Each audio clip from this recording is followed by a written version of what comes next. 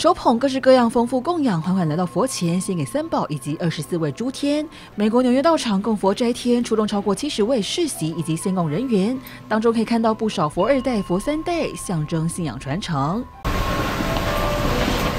不止端出一道道精致苏陀妙味，就连服装也超讲究，每个细节都不马虎。而好几天前，法师们就开始奉送金光明经空品，为这一天做准备。住持觉林法师也分析各种奥秘，在我们的人天福报里面所修的供养，就是属于有形有相的供养。为什么呢？因为我们是色界的众生，欲界的众生，所以我们欲界的众生。啊，看到这个很欢喜啊，看到这个做的很开心。我听法了以后，法喜充满。